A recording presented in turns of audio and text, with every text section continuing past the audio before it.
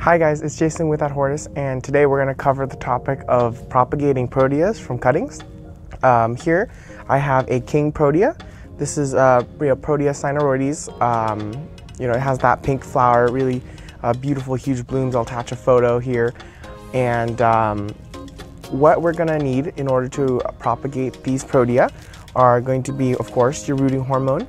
The product that I like to use is called Hormex 16 or number 16. Um, normally it is as a powder. Now I do have this just uh, broken up with some water because this is um, running a little low on my usable stock and uh, I have some new ones coming on the way, but it's in liquid form, though the percentage is still going to be just the same. Um, this is Hormex 16. Um, the next tool that you'll need is going to be a pair of really nice, clean, sharp pruners. These are Coronas. Uh, I really like them as well. Um, I have typically a pair of uh, Felco pruners that I use, Felco 2s. Uh, I really enjoy those. I find those um, a lot better. But of course, Coronas are also really good tools uh, nonetheless. Um, you're gonna need a container to uh, be able to put your cutting into once it's been uh, prepped for planting. And then the last thing is you're gonna need your mix of what this cutting is gonna go into. Now, the mix that I use is gonna be two parts sand, two parts peat, and one part perlite. And you'll see a, a picture here of that arrangement. Um, but this mix is here. I haven't mixed it yet. I will do so shortly. And you know, let's get into it. Um, before, actually, before we get into that, just want to share with you the hoodie. Let me, let me go ahead and turn around there. hoodie's looking really fine there. If you guys are interested, let me know. And um, you know, we can probably uh, figure out something, get you some hoodies. Um, but yeah, let's get started. Um, so what we're gonna need, I'm gonna set these tools aside and I'm gonna set the pot aside as well, is we're gonna need to pick a really nice branch. So this plant has been with me for a couple years now. It's been used as my mother plant for, I mean, I can't even, actually since, since I got it really. Um, you know, I take many cuttings off of it. I've never really seen a flower on it just because uh, every time you prune a protea, a king protea particularly back, um, it doesn't want to bloom back immediately. So the branch itself needs to mature a certain amount of time, typically like a year or so before it'll want to flower on that particular branch. Um, and so, you know, I'm just repeatedly using this for cutting material, hence, you know, the, the fullness that you see here because uh, every time I'm cutting it, the plant is uh, flushing back with new growth. And so this just gives me more cutting stock to work with. So um, probably in the span of me having this plant, I've taken over like a hundred cuttings or so. And so uh, it's, you know, a reliable plant. It's very uh, well growing, but the principles that come out of this video here can be applied to any other protea. So um, I'm looking at this plant now. I would say I see a really pretty branch here. It's got a really good, I would say pencil thickness to it, uh, maybe a standard number two pencil. And um, I'm gonna go ahead and take this portion right here. So the length of your cutting should typically be uh, about six inches or so. Um, four to six is fine. If four, if your plant is small or you need to be a little bit conservative with the nodes. Uh, six is ideal. Uh, it gives it plenty of length uh, to have nodes on and you know it's a lot more opportunity for your plant to flush. Oftentimes too, the longer your stalk is, the more carbohydrates there are stored inside of the um, stem itself, allowing you a better opportunity to have it strike. Uh, as you can see, I've taken off the top here. So the reason why I take off the top is I've had a couple run-ins where my cuttings have actually flowered. Um, and so by removing the top, it locks the plant into uh, only being able to produce a vegetative uh, branch. And that's what we're looking for. We want this stalk or this cutting to eventually become a plant. So by taking off the top portion, we don't run into the risk of it trying to flower and that'll delay uh, the process moving forward. Uh, I have the cutting here and I'm gonna go ahead and pluck the bottom half. Now some people will take off the bottom two thirds. I will typically pluck until there's about three or four leaves on the cutting, about that there, and that will typically do it. Um, you don't need to go super high on it uh, by taking too many leaves, that'll also slow down the process. uh, of it being able to strike because, you know, even though it doesn't have a root system, it's still transpiring and you want to keep enough leaves on there so that it can still acquire uh, light energy and eventually strike, though not too many as to then dry it out. Um, so we have our prepped cutting here. Looks really good. I'm gonna go ahead and make a cut. So the cut that we are shooting for is a 45 degree angle. It's probably a little steeper than that, and that's totally fine. Um, some people will do flat cuts. I know a lot of growers that uh, prefer using the flat cuts, and it's totally fine. It's just my personal preference to do that uh, slanted cut, uh, just because I feel like with more surface area, that allows it a better opportunity to strike somewhere along this um, cambium here. So I'm gonna go ahead and leave my cutting inside of the rooting hormone. Uh, people will do quick dips and whatnot. I'd say about 10 seconds will uh, often do it for my cuttings. And Hormex 16 is about 1.6%. Um, by most propagation terms, that's a pretty strong concentration. Um, but that's where I've seen the most successes on my part. Uh, anything lighter can give you results, but um, I haven't been able to get that type of result as I would with 1.6%. So um, I'm gonna go ahead and get my mix ready here. So again, that was the mix that I mentioned earlier. And you're gonna fill it up to the top here. Make sure you give it a tap, get out any air bubbles. And that's good. You don't need to compress it down or anything. You can do that after. And so now with our cutting, nice and dipped. You can see there's that little foam there. I shook it up quite a bit earlier. Um, it's nice and coated. I'm gonna go ahead and stick it down to about that first or that bottommost leaf that we have on the cutting. And then at that point, you can go ahead and pack it in around the sides, like that. And that's nice and sturdy there. You can always give it a little wiggle. If it is uh, wiggling and moving around, then that means you haven't packed it well enough. So um, go ahead and try it again and just get it really packed. And from this point on, it's just gonna sit and hang out for until it strikes. And now we have a couple of questions in regards to that. Um, how long does it take?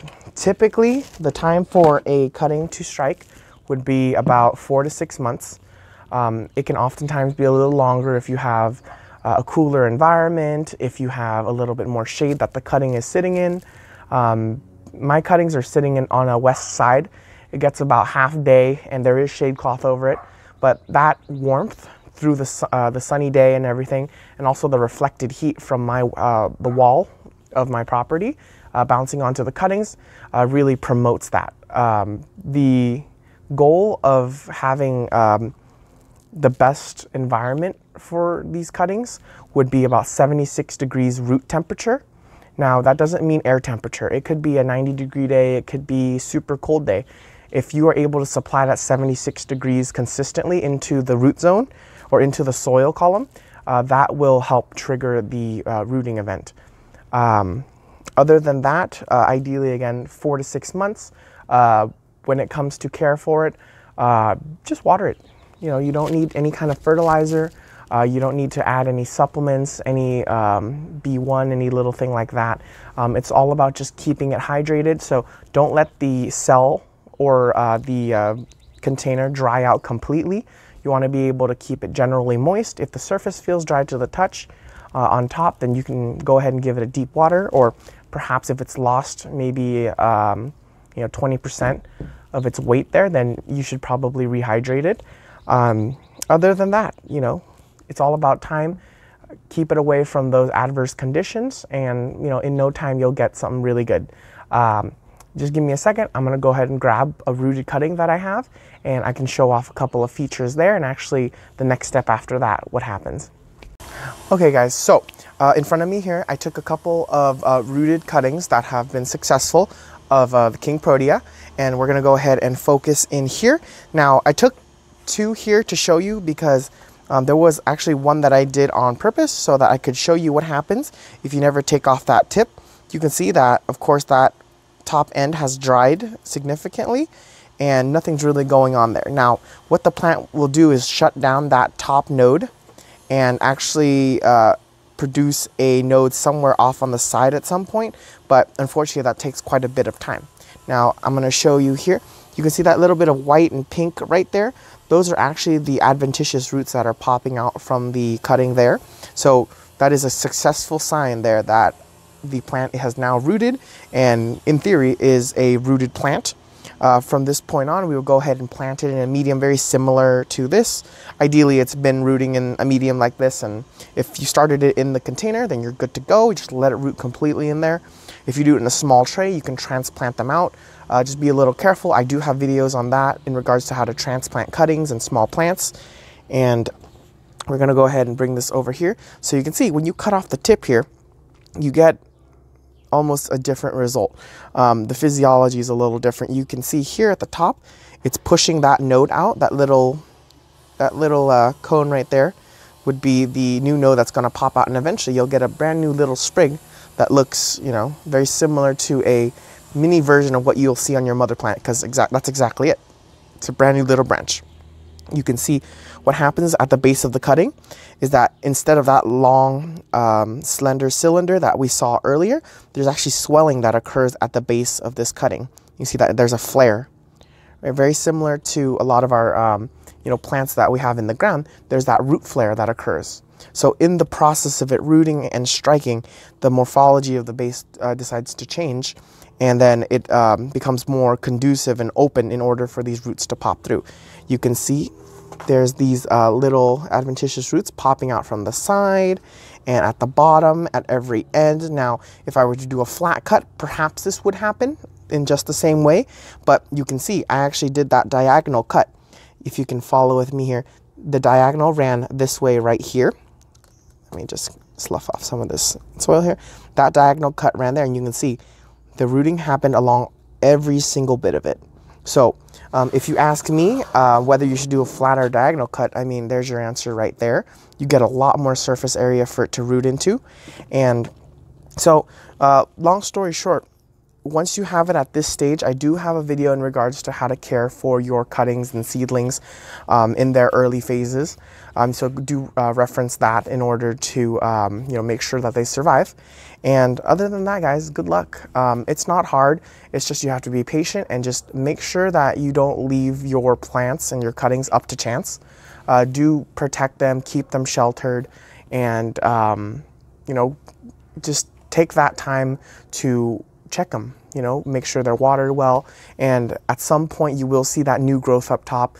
You can always do a little tug test to see if there's resistance. Great, that's probably taken. Um, but if it's just popping out, then, um, you know, press it back in, pack it again, give it more time. Um, one of those troubleshooting things to do is if you see that your cutting has discolored or the foliage has now dried completely, the cutting has probably not taken. And so in that event, you're gonna go ahead and just get rid of it and you know just start over.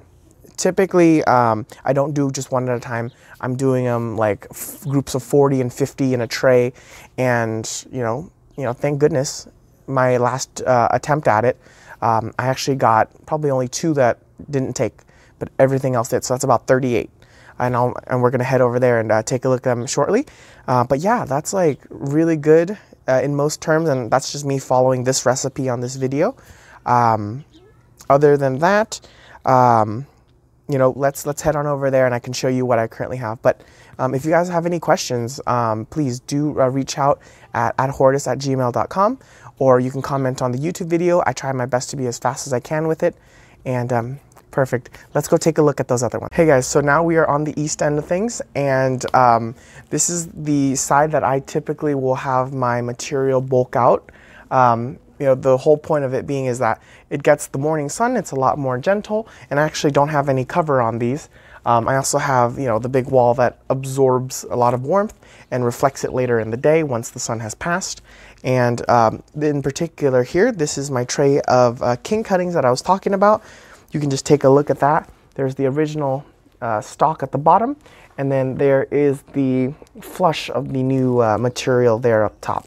It's nuts. You can see all this beautiful new growth, really lush. I had a couple that may have went through the hot day there, and that's why you want to try to protect them. But the plant is still healthy nonetheless. Um, I have it here in these deep cells that, you know, so if you're starting them out in the shallow trays, you can go ahead and um, then re you replant them into these cells, and that'll cultivate out that taproot or a deeper root system. And eventually, you'll have this deep cell that you can tr uh, transplant into an actual pot and become um, you know, full on plants. But if you like this, guys, uh, please do uh, like and subscribe. I really am uh, trying to get this thing to take off and be able to get you guys more content. So um, if you guys have, again, any questions, just let me know. Uh, but yeah, let's do one last pan here to show you the, the rest of my uh, stuff here. These are all the other seedlings. And uh, eventually, as I expand this out, we're gonna have a lot more cuttings joining the party here. I'm just starting to get to work now because the season's right. But yeah, guys, thank you so much.